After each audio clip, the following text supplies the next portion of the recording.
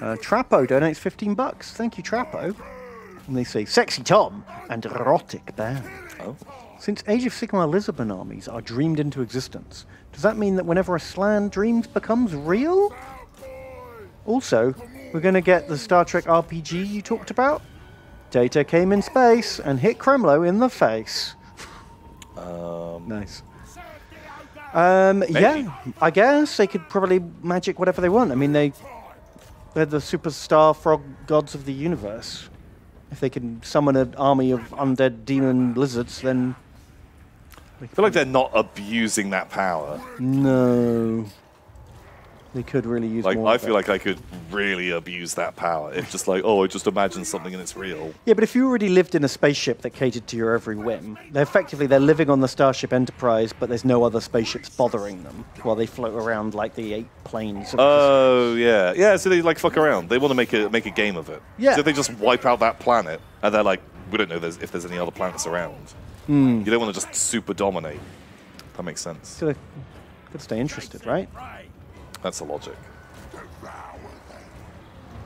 Do you think different Slann remember lizardmen differently? Oh yeah, yeah, yeah. Because some of them remember them with nipples. Some of them don't remember them with nipples. Do you think that caused a great schism amongst the people? I feel like Slann? yeah, they definitely judge each other.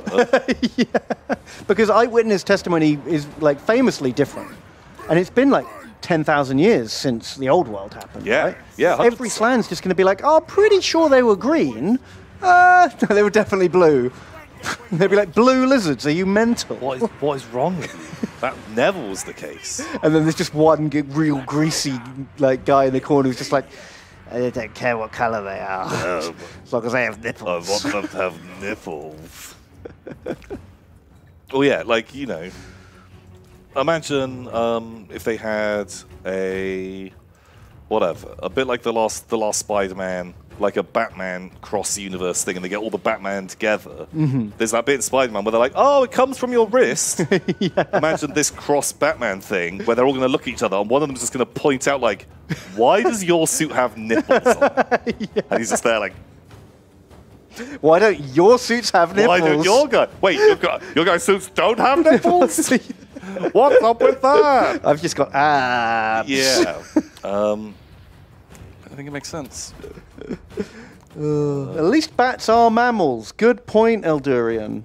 That's true. But these are lizard men, True.